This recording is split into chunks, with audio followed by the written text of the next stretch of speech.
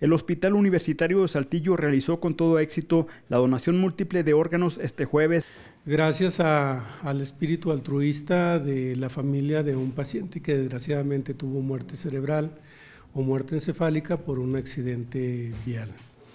En este caso eh, logramos recuperar lo que son las córneas, lo que es hueso, lo que es hígado y riñones, corazón, lo que es pulmones. Desgraciadamente no logramos eh, conseguir un receptor apto para estos órganos. es un paciente masculino de 25 años.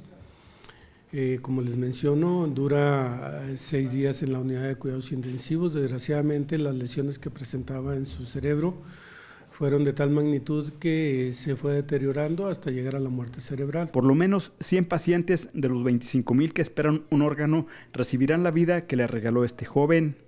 Referido en repetidas ocasiones que le gustaría ser donador si llegara a pasarle algo. Los familiares aceptaron este, dar este, este paso de fe y de esperanza para mucha gente. La procuración de órganos se realiza con todo respeto y transparencia para los familiares, cuya disposición para regalar vida es determinante. Con la cámara de Roberto Fuentes para RCG informó Eduardo Sarabia.